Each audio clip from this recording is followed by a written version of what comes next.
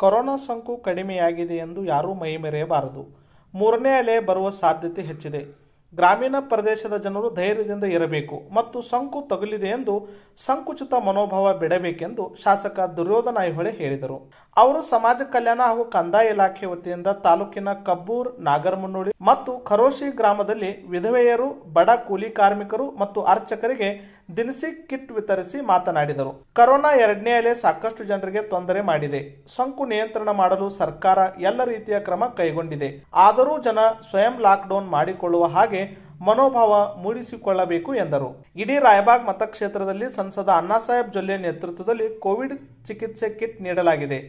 ಕ್ಷೇತ್ರದ ಜನರು ಔಷಧಿ ಬೇಕಾದಲ್ಲಿ ತಕ್ಷಣ ದೂರವಾಣಿ ಮೂಲಕ ತಿಳಿಸಿದರೆ ನಿಮ್ಮ ಮನೆ ಬಾಗಿಲಿಗೆ ಔಷಧಿ ತಲುಪುವ ವ್ಯವಸ್ಥೆ ಮಾಡುತ್ತೇವೆ.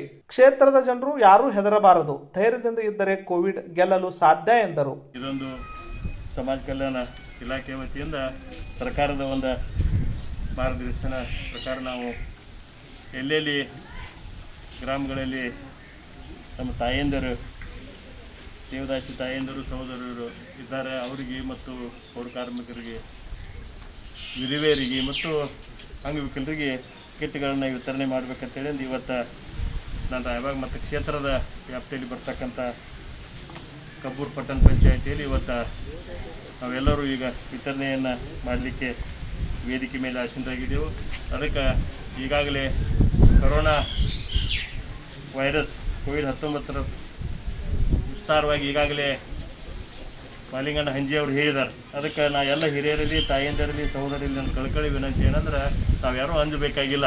ಧೈರ್ಯದಿಂದ ಇರ್ರಿ. ನಾವು ನಿಮ್ಮ ಗುಡ ಇದ್ದೇವೆ ಸರ್ಕಾರ ನಿಮ್ಮ ಗುಡ ಐತಿ ಕೇಂದ್ರ ಸರ್ಕಾರ, ರಾಜ್ಯ ಸರ್ಕಾರ ನಿಮ್ಮ ಕೂಡ ಐತಿ ಅನೇಕ ಯೋಜನೆಗಳನ್ನು ನಮ್ಮ ಸಲುವಾಗಿ ಸರ್ಕಾರ ಜಾರಿಗೆ ತಂದೈತಿ. ಅದಕ್ಕೆ ನಾವು ಯಾರೂ ಅಂಜಬೇಕಾಗಿಲ್ಲ. ಮುಖಕ್ಕೆ ಮಾಸ್ಕನ್ನು ಹಾಕಬೇಕು ಅಂತರವನ್ನು ಕಾಪಾಡಿಕೊಂಡು ತಾವು ಆದಷ್ಟು ಮನೆಯಲ್ಲಿ ಇರಬೇಕು. ಮತ್ತು ಮನೆಯಲ್ಲಿದ್ದಾಗ ತಾವು ಆದಷ್ಟು ಬಿಸಿನೀರು ಹೆಚ್ಚು ಕುಡಿರಿ ಮತ್ತು ಬಿಸಿನೀರು ಅಂದ್ರೆ ಭಾಳ ಸುಡುವಲ್ಲ. ಉಗುರು ಬೆಚ್ಚಗೆ ಮಾಡಿ ಕುಡ್ರಿ ಮತ್ತು ಚಾದ ಬದಲು ಕಸಾಯಿ ಕುಡ್ರಿ. ಇವೆಲ್ಲ ಹಿರಿಯರಿಗೆ ಗೊತ್ತೈತಿ. ಶುಂಠಿ, ಲವಂಗ, ಏಲಕ್ಕಿ ಇಂಥದ್ದೆಲ್ಲ ಪುಡಿ ಮಾಡಿ ಚಾದ ಕುಡಿ ಬದಲಿ ಅದನ್ನ ಕಷಾಯನ ಕುಡಿದ್ರೆ ಒಳ್ಳೇದು. ಅದ್ರಾಗ ಹಾಲು ಹಾಕಿಲ್ದ ಹಂಗೆ ಕಷಾಯ ಮಾಡಿ ಕುಡಿಬೇಕಂತೇಳಿ ನಾ ನಿಮ್ಮಲ್ಲಿ ವಿನಂತಿಯನ್ನು ಮಾಡ್ಕೊತನು.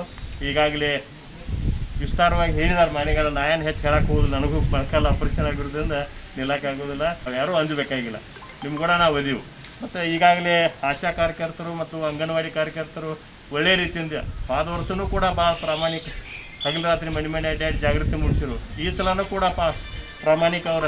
ಮನೆ ಮನೆ ತಿರುಗಾಡಿ ಜಾಗೃತಿ ಮೂಡಿಸತ್ತಾರು ಈಗಾಗಲೇ ಎಂ ಪಿಯವರು ನಾವು ಕೂಡಿ ಅವ್ರಿಗೆಲ್ಲರಿಗೆ ಕೋವಿಡ್ ಟೆಸ್ಟ್ ಮಾಡುವಂಥ ಕಿಟ್ಟನ್ನು ಕೊಟ್ಟಿದ್ದೆವು.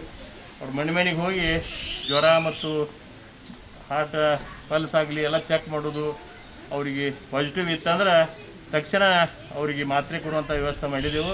ಅದಕ್ಕೆ ಮಾತ್ರೆಗಳು ಕೂಡ ಮಾಲಿಂಗನ ನಮ್ಮಲ್ಲಿನೂ ಅದಾವೆ. ಈಗ ಇಲ್ಲಿ ಈಗೇನು ಬೀರೇಶ್ವರ ಬ್ಯಾಂಕ್ ಐತಿ ಇಲ್ಲಿ ನಿಮ್ಮಲ್ಲಿ ಇರಬೇಕಲ್ಲ? ಅಲ್ಲಿ ಹೋಗಿ ಕಟ್ಟು ಕಳಿಸಿದ ಹೋಗ್ತಿತ್ತ.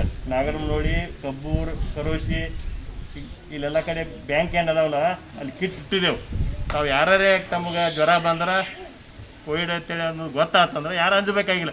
ಅವು ಮಾತ್ರೆ ತೋರೆ ಐದು ದಿವ್ಸ ಮನ್ಯಾಗಿರ್ರಿ ಏನೂ ಆಗೋದಿಲ್ಲ. ಮತ್ತು ನನ್ನ ಮನ್ಯಾಗೂ ಸ್ಟಾಕ್ ಅದಾವು. ನೀವು ಫೋನ್ ಮಾಡಿರಿ ನಾ ಕೊಟ್ಟು ಕಳಿಸ್ತೀನಿ. ನೀವೇನು ಅಲ್ಲಿ ಯಾರಿಗೆ ಬರಬೇಕಾಗಿಲ್ಲ. ಬರೀ ಫೋನ್ ಮಾಡಿ. ನಾ ಕೊಟ್ಟು ಕಳಿಸ್ತೀನಿ.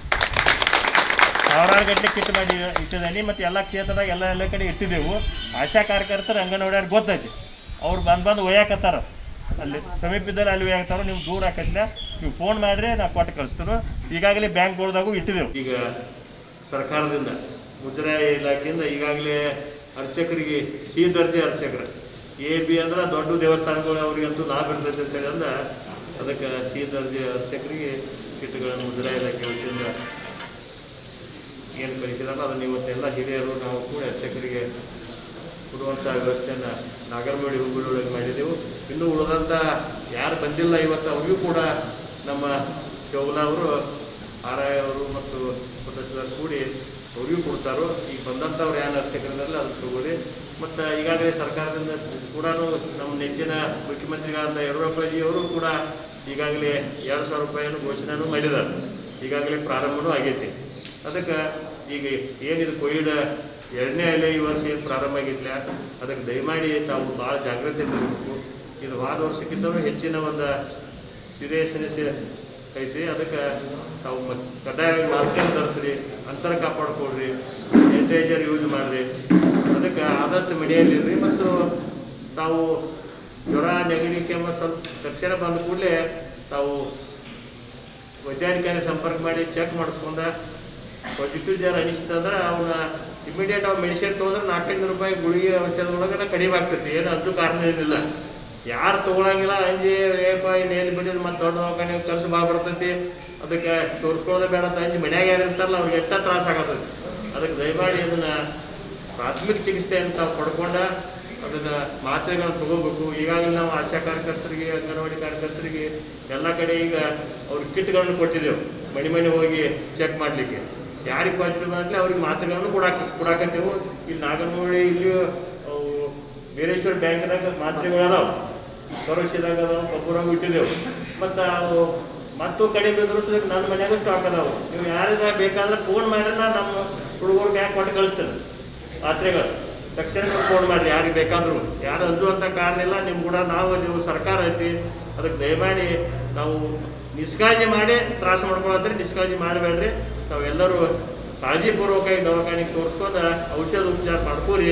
ಮತ್ತು ಕಡ್ಡಾಯವಾಗಿ ಮಾಸ್ಕನ್ನು ಧರಿಸಿ ಅಂತರ ಕಾಪಾಡಿಕೊಡ್ರಿ ಸ್ಯಾನಿಟೈಸರ್ ಉಪಯೋಗ ಮಾಡಿ ಮಾಡಂತೇಳಿ ನಿಮ್ಮೆಲ್ಲರಿಗೂ ನಾನು ಕಳಿಕಳಿ ವಿನಂತಿಯನ್ನು ಮಾಡಿ ಜಿಲ್ಲಾ ಪಂಚಾಯತಿ ಸದಸ್ಯ ಮಹೇಶ್ ಬಾತೆ Mahaling Anji Mahadev Jeevani Danappa Kottabagi PBET Ramesh Kalannavar M B Alure Mahadev Chougla B R Kotyapgol MSCT Arun Maryayi ಉಪ ತಹಸೀಲ್ದಾರ್ ವಿಜಯಕುಮಾರ್ ಚೌಗ್ಲಾ ಕಂದಾಯ ನಿರೀಕ್ಷಕ ಡಿಎಸ್ ಒಂಟುಗುಡೆ, ಸಮಾಜ ಕಲ್ಯಾಣ ಇಲಾಖೆ ಅಧಿಕಾರಿಗಳಾದ ಜೀವನ್ ಪಮ್ಮಾರ್ ವಿಠಲ್ ಢವಳೇಶ್ವರ್ ಸೇರಿದಂತೆ ಮುಂತಾದವರು ಈ ಸಂದರ್ಭದಲ್ಲಿ ಉಪಸ್ಥಿತರಿದ್ದರು.